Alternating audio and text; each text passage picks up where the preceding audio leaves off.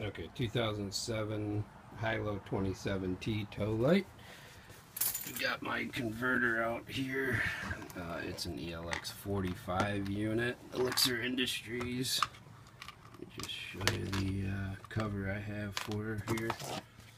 This is just the regular old Elixir cover. Um, so what I got going here? Uh, I got this trailer with some jerry-rigged wires up in here. Uh, someone had run a quite a few deadly type situation fuses going on in here. So let me just show you these. There's a couple of burned up fuses. Not sure how well you can see those. Um, so these fuses are all burned up. And what I'm suspecting is someone ran a ground thinking this was a ground and off of the power converter. Well, this seems to be coming out of the front in the battery section, but this wire is not a chassis ground. So what I believe is that the new Intella Power Progressive Dynamics I ordered runs off a chassis ground. Um, and so if it runs off another ground I won't be running it in through off of this wire here. What I'm going to do is try to figure out what wire that is and then uh, go from there. So I have a positive and a negative coming in onto my fuse block but this one I'm not sure where or what is going on with this wire here. Anyone who has any answers for me that'd be awesome. But uh, basically right now so I got the power converter out got the 120 side out. And now I'm just gonna go ahead pull this out. Start pulling these down. Start pulling these I believe are the hot wires.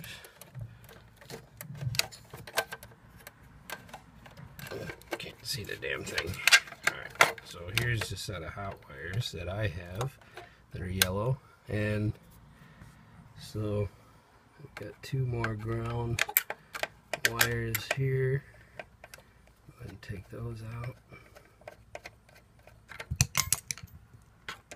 Sweet.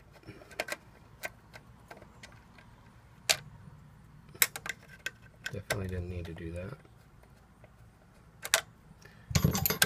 Take those ones out. Okay, so power converter is completely free of the unit.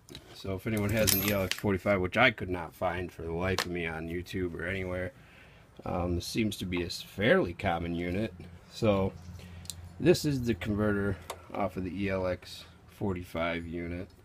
And as you can see, it's a flimsy, just a all-around open junk looking thing. Um, so I will update when I get the new Inteli Power Wizard charger from Progressive Dynamics. Uh, should be in in a couple days. Um, really, it's it seems pretty straightforward. Uh, if you have an ELX 45 and you don't have some kind of jerry wires going on on your 12 volt side, uh, once you disconnect all the wires, everything's good. You got a couple brackets here, one here. We got a negative to pull out. You gotta uh, pull your positive out of your your breaker. And uh, four bolts along the edge here. And she just pulls out pulls right out. So pretty pretty straightforward stuff. I'm hoping the install goes like that. Like I said I just got to find out what that one little tricky wire is back there. Find out where this positive is coming off of. Um, yeah and then so hopefully that uh, 45 amp converter uh, Progressive Dynamics 9245C uh, should be a good one. So we will see. Update coming soon.